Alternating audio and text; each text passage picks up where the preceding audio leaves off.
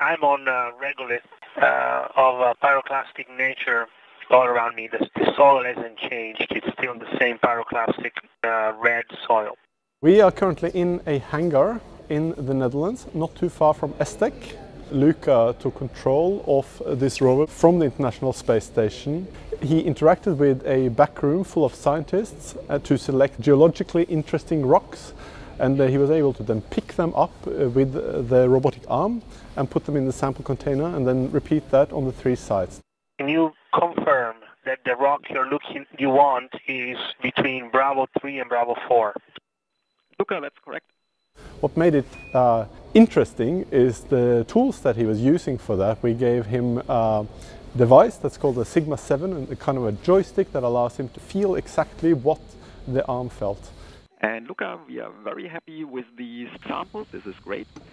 This is part of the Meteron project. What you saw today is a full rehearsal of what an exploration mission would look like. We try to devise all the tools and techniques that uh, we foresee in the next step of the moon exploration. Of course, we did that in a, in a hangar we want to control the environment, we want to control a little bit the experiment, but our next step will be to go into an analog site. We plan to go to Mount Etna next year to do a full-scale rehearsal and when Luca is back from, uh, from station, he will be again put to the test next to his hometown uh, in, uh, in Catania. ESA is together with uh, international partners working on the return to the moon. ESA is uh, building the service module of the Orion spacecraft. Uh, we are also uh, developing uh, uh, some elements of the lunar orbiting outpost called the Gateway.